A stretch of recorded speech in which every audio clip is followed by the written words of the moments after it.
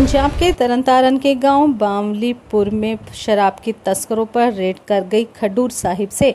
Excise विभाग की team में शामिल शराब के ठेकेदार जसकरण सिंह द्वारा गोली चलाई जाने से गाँव तुड के ग्रंथी सिंह दिलबाग सिंह की मौके पर ही मृत्यु हो गई।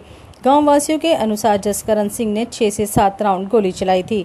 मिली जानकारी अनुसार एक्साइज विभाग की टीम को सूचना मिली थी कि गाँव बंगालीपुर में कोई अवैध रूप से शराब बेचता है, जिस पर कार्रवाई करने के लिए एक्साइज विभाग की टीम खडूर साहिब से शराब के ठेकेदार जसकरण सिंह के साथ छापामारी करने के लिए गाँव में पहुँची।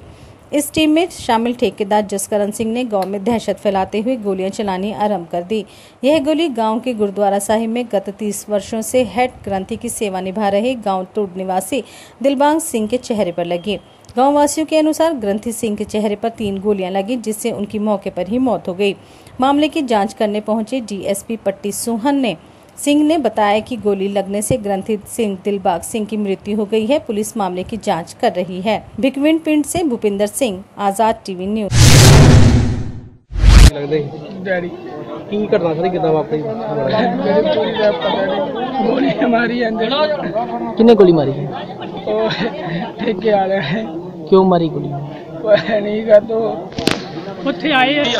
ਨਹੀਂ ਬਹੁਤ ਹੀ ਬੰਦਾ ਭਲਾ ਮਾਨਸ ਸੀ ਕਿਤੇ ਹੋਰ ਵੀ ਸਾਡੇ ਸਾਰੇ ਪਿੰਡ 'ਚ ਪੁੱਛ ਕੇ ਵੇਖ ਜੀ ਐਡਾ ਬੰਦਾ ਭਲਾ ਮਾਨਸ ਕੋਈ ਗੱਲ ਕਰਨ ਵਾਲੀ ਨਹੀਂ। ਆ ਉਹਨਾਂ ਨੇ ਕਿਹਾ ਵੀ ਅਸੀਂ ਸਿੱਧੀਆਂ ਗੋਲੀਆਂ ਮਾਰੀਆਂ ਇੱਥੋਂ ਗੱਡੀ 'ਚੋਂ। ਕੋਈ ਰੇਡ ਰੂਡ ਕਰਨਾ ਆਏ ਸੀ ਜਾਂ ਵੈਸੇ ਆਏ ਸੀ ਕੋਈ? ਹਾਂਜੀ ਰੇਡ ਕਰਨਾ ਹੈ ਮਾਰਾ ਰੇਡ ਕਰਨਾ ਹੈ ਪਰ ਉਹਨਾਂ ਕੋਲ ਕੋਈ ਪਰਚੇ ਦੇ ਰੇਡ ਹੈ ਨਹੀਂ ਜਿਹੜੀ ਕੋਈ ਚੀਜ਼ ਫੜੀ ਜਾਂਦੀ ਉਹਨੂੰ ਫੜਨ। ਜਦ ਰੇਡ ਕਰਨਾ ਜਾਇਆ ਤੇ ਉਹਨਾਂ ਦੇ ਕਿਸੇ ਨੇ ਹਮਲਾ ਕੀਤਾ ਤੇ ਤਾਂ ਦੱਸਦੇ ਕਿੰਨੇ ਜਣੇ ਹਥਿਆਰ ਚਲੇ ਆਏ ਹੁਣੇ ਜੀ 8-10 ਜਣੇ ਤਾਂ ਹੋਣੇ ਹੀ ਆ। ਹਾਂਜੀ ਗੱਡੀ ਭਰੀ ਹੈ ਨਾਲ ਮੁਲਾਜ਼ਮ ਵੀ ਆ। ਹਾਂਜੀ? ਗੋਲੀ ਕਿੰਨੀ ਚੱਲੀ ਹੋਈ ਗੋਲੀ ਉਹਨਾਂ ਮੁਲਾਜ਼ਮਾਂ ਦੀ ਚੱਲੀ ਸਾਰਿਆਂ ਤੋਂ। ਕਿੰਨੀ ਗੋਲੀ ਚਲਾਈ ਮੈਂ ਗੋਲੀਆਂ 7-8 ਚਲਾਈਆਂ ਜੀ। ਸ਼ਰਿਆਮ ਬਦਮਾਸ਼ੀ ਕਿਉਂਕਿ ਆਪਾਂ ਨੂੰ ਇਨਸਾਫ ਮਿਲਣਾ ਚਾਹੀਦਾ ਸਭ ਤੋਂ ਵੱਧ ਵੀ ਬਾਬੇ ਦਾ ਕੋ ਨਾ ਕੋ ਵਿਚਾਰੇ ਦਾ ਬਣਨਾ ਚਾਹੀਦਾ ਠੋਕ ਕੇ ਪਰਚਾ ਹੋਣਾ ਚਾਹੀਦਾ। ਅਲੱਗ ਜਗ੍ਹਾ ਤੇ ਇਕੱਲੇ ਖੜੇ ਜਿਹੜੇ ਗ੍ਰੰਥੀ ਸਿੰਘ ਸੀ ਉਹਨਾਂ ਦੇ ਵੱਜੀਆਂ ਜੀ। ਕਿੰਨੇ ਕੁ ਚਲਾਈ ਹੋਈ ਦੋ ਤਿੰਨ ਗੋਲੀਆਂ ਉਹਨਾਂ ਦੇ ਇੱਥੇ ਵੱਜੀਆਂ ਵਾ ਘੱਟੋ ਘੱਟ ਉਹਨਾਂ ਪੰਜ ਛੇ ਗੋਲੀਆਂ ਚਲਾਈਆਂ ਜੀ।